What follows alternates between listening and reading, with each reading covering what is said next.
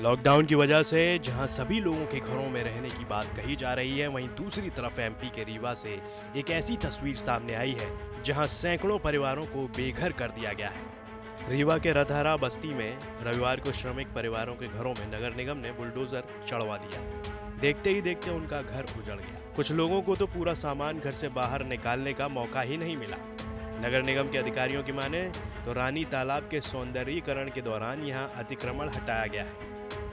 तारा तालाब के सौंदर्यीकरण हेतु मध्य प्रदेश शासन द्वारा पुनर्घनत्वीकरण योजना के अंतर्गत राशि स्वीकृत हुई है और नगर निगम द्वारा अतिक्रमण हटाने की कार्यवाही की जा रही है। हम लोग शांति व्यवस्था के लिए यहाँ उपस्थित लॉकडाउन का समय चल रहा है इस समय और बाहर न निकलने को कहा गया तब भी शासन तरफ़ से जा रहा है। इसके संबंध में हम कुछ नहीं बोलेंगे। इस समय पर लॉकडाउन में कौन सा सौंदर्यीकरण होगा ये भी थोड़ी जानना काम तालाब का सौंदर्यीकरण करना है ये तो पूर्व से प्रस्तावित है शासन की। लॉकडाउन का उससे कोई लेना देना नहीं। सौंदर्यीकरण लॉकडाउन नहीं होगा हाँ।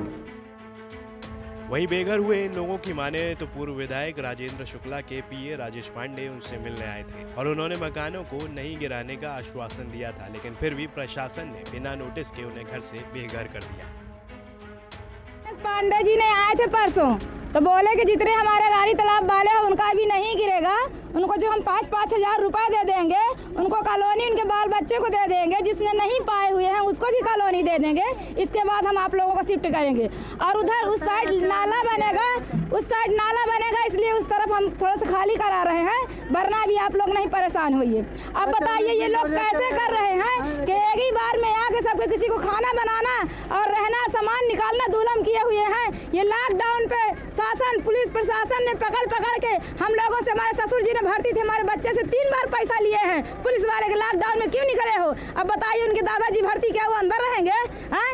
ये पकड़ पकड़ के चोरी भी करते हैं ये लोग। पैसा ले लिए और आज हम लोगों को घर से बेघर कर रहे हैं। ये लॉकडाउन में अच्छा लगता है। ये राजेश पांडे कौन है? ये राजेश पांडे है मंत्री का पीए शुक्ला जी का पीए बोल के गए थे कि आपके घर से और इधर आप लोग बेफिक्र रहो आप लोगों को घर नहीं गिलाएँ और ये किसका किसके आदेश से हमको इसका लिखा चाहिए?